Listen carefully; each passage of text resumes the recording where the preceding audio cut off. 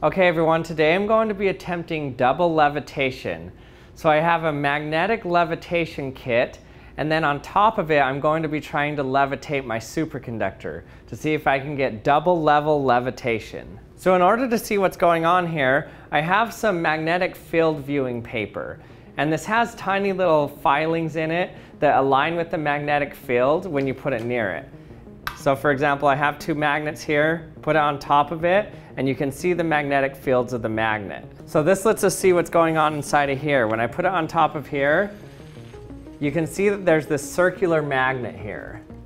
Now this is a permanent magnet, and then I also have another permanent magnet here, a circular magnet. And now I want to put them on top of each other. I'll put this here so you can actually see what's going on inside of it. So I want to put it right in the center. But the problem is, is no matter how hard I try to balance it, it always becomes unbalanced and pops off to the side. So balancing two magnets on top of each other is inherently unstable and you can never get it to work unless you have some feedback. So whenever it tries to start to fall one way, what if I had another magnet that turned on over in this corner and pushed it back the other way? Or if, or if, it, fall the, or if it started to fall the other way, I have another magnet that pushes it back the other way. And that's exactly what they did here. In each of the four corners, what they did is they put some electromagnets. And based on the field that it senses, if it senses this field start to move away from it, it'll turn on one of these four magnets in the corner here. And so you can see that I can't get it balanced right now, but as soon as I turn on the electricity and turn on my four electromagnets in the corner, and the electromagnets, you can see when they're turned on based on when these lights are on or off. So you can see I start to move towards it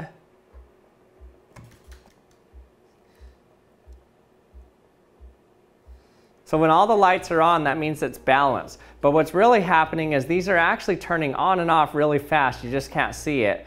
So today what I'm going to be doing is balancing different stuff on top of my magnetic levitator.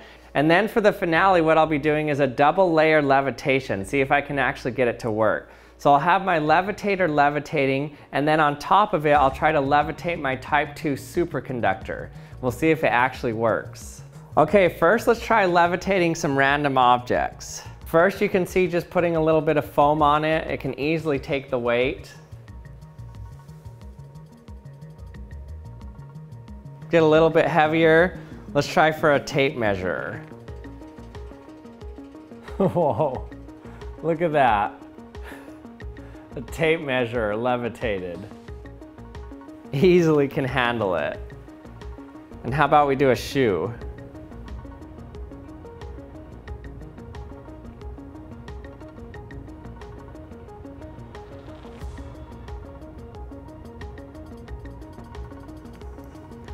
There we go. There's a shoe levitating. that is crazy.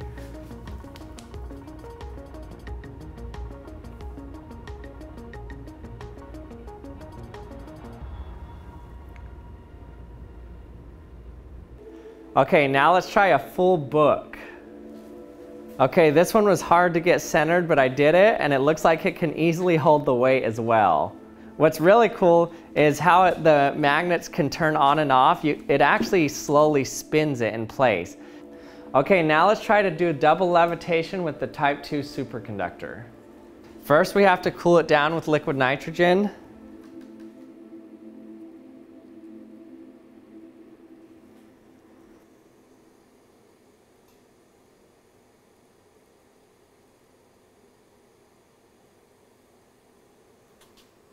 There we go.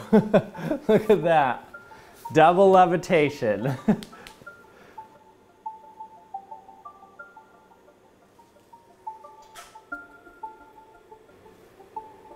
Superconductor on top of a levitator. That is awesome. Look how the superconductor is locked with it, but the magnet below can spin freely. So you can see nothing between here and nothing between here.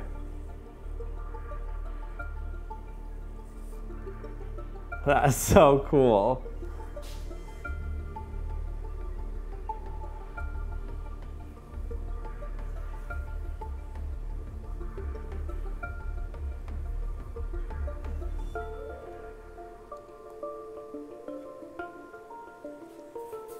So the reason this type 2 superconductor is able to levitate on top of here is called flux pinning or quantum locking. And what happens is the magnetic field lines of the magnets below the type 2 superconductor can only penetrate it at certain spots. So basically the magnetic field lines thread through it and lock it in place. So the superconductor is actually pinned to the magnets even though it's levitating. So that means that when I turn the superconductor, it'll turn the magnets below it. Whereas the, for the levitation base below, it's not locked to the magnet above it, so it can spin freely. Hey everyone, thanks for watching the Action Lab again. I hope you liked the video, hope you learned something. If you did, don't forget to subscribe and hit the bell so you can be notified when my latest video comes out. And thanks again for watching, and I'll see you next time.